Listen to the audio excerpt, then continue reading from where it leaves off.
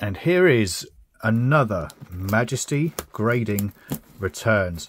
I can't actually remember what's in this. I think this is all football. It might be a mixture of football cards and stickers, but I'm fairly certain it's all football. I started off going really gentle, and not anymore. Right.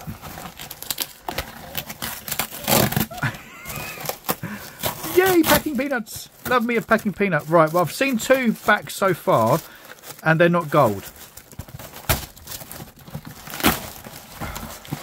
Okay, I didn't send off that many. Not by any stretch of the imagination. We've got packing peanuts all over the place. I think these, yeah, these are just cheapo cards, which I thought would look quite nice graded. Have we got any gold? It doesn't look like it, does it? It's not a surprise. They're cheap cards. They're going to be very hard to get high grades.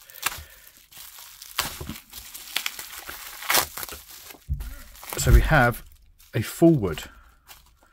Who on earth is this going to be? Forward. Oh, it's going to be Harry Kane, surely. Eight. Top finisher, Harry Kane.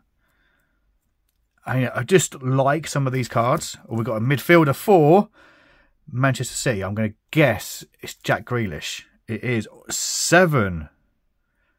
Oh, that's that's bad. That's really bad. Oh dear God. I'm going to hazard a guess that Man City is going to be Phil Foden, which I, I just like Phil Foden. Oh, this is actually... It's a diamond, Phil Foden. It's number nine.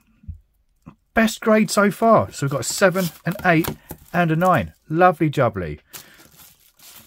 We've got a Cristiano Ronaldo card back here as well.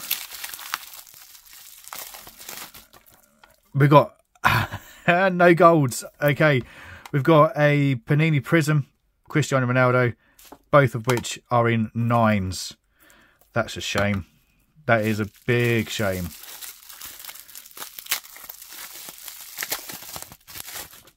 All right, sticker. I'm not holding my breath for a sticker. Oh, you know what?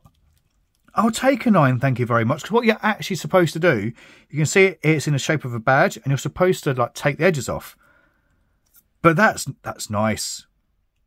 I mean, I think nine is a strong grade. So you know what? I would take that. That's awesome.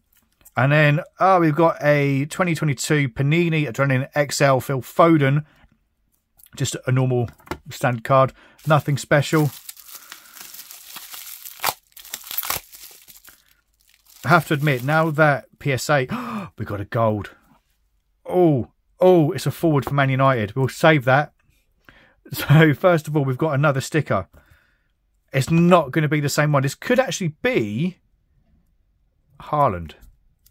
It is a Haaland, and it's another nine. Again, you can see that it's not embossed, um, perforated around, so you're actually supposed to take it out. But you know what?